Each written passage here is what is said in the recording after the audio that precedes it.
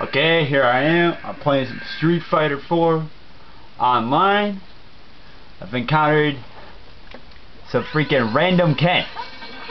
Freaking Maverick MAG DRAG. Look at that freaking random Shoryukens. Random Shoryukens. What is up with it? I do freaking random Ultra. What the hell? The hell is he doing this?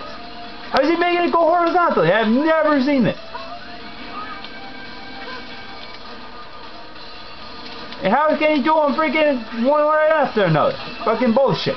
I'm fucking understanding. Fucking another random fierce Shoryuken. Do they do it because it has fire? Because it looks cool? Another fucking random ultra. What the fuck? Fucking random ass scrub. The fuck is this shit? Fuck you. Fucking if you ever encounter him. Maverick MAG DRAG. He's a faggot. Fuck him.